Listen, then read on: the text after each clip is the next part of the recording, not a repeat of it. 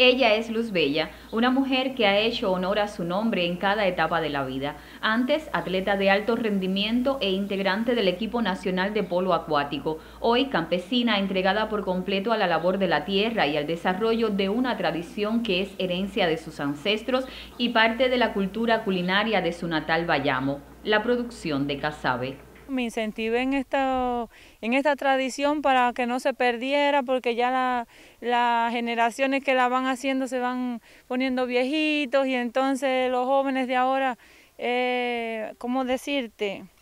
van buscando otras cosas y entonces yo, mira, vine para acá y no me arrepiento de eso porque me va bien aquí así, haciendo lo que hago y lo disfruto porque me gusta.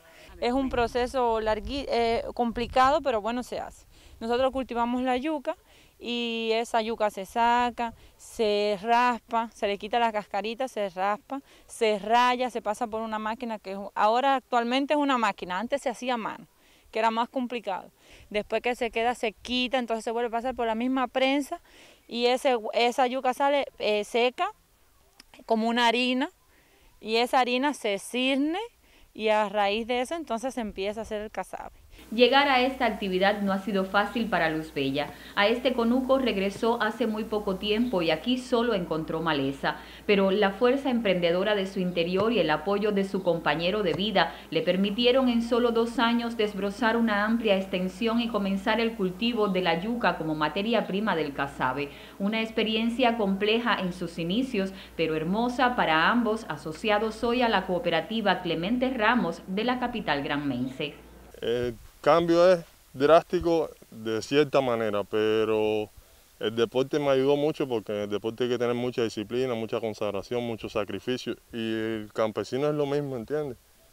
Y gracias a eso he podido adaptarme bastante bien a esta situación, a esta nueva etapa de mi vida. La parcela de Luz Igianni está ubicada en la comunidad Bayamesa El Padrón, un sitio completamente secano, pero que se ha vuelto productivo gracias a la aplicación de la ciencia de la forma que lo estamos haciendo es instruyéndonos, buscando en internet un libro que tengo que tiene referencias de estudio de la Universidad de Santa Clara.